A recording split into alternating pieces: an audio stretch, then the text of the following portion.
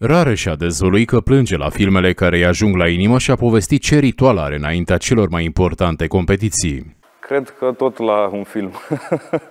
Ultima oară când am plâns. În general sunt o persoană foarte puternică și uh, nu mă sensibilizez atât de ușor, însă lucrurile ce țin de, de suflet, chiar pot să spun că, că mă, mă marchează și am uh, sentimente, sunt empatic.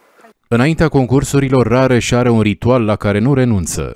Pot spune că ascult rock înainte de concurs și hip-hop, deci oscilează în funcție de stare.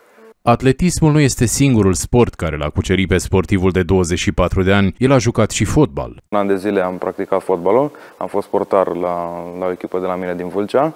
Rareș Ștoader a revenit în sala de antrenament după cel mai lung și greu sezon din carieră, chiar dacă nu a prins finala olimpică la aruncarea greutății la Olimpiada de la Tokyo, sportivul a trăit în Japonia experiența vieții.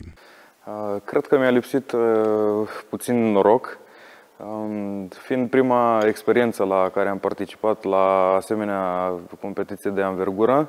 Uh, nu am știut exact cum să gestionez cele trei aruncări pe care le-am avut pentru accederea în finală.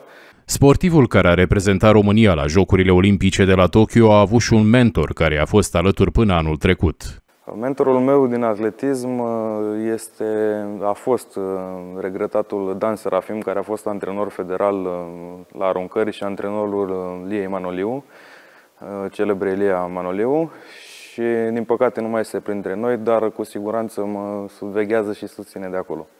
Tot datorită lui Dan Serafim, de-a lungul carierei, Rareș nu a lipsit de la niciun antrenament.